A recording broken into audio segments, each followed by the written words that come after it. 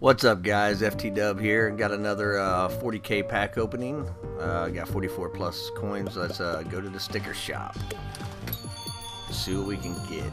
Let's go over to the spectacular character pack. Yes, we want to buy this. What is this, a soldier.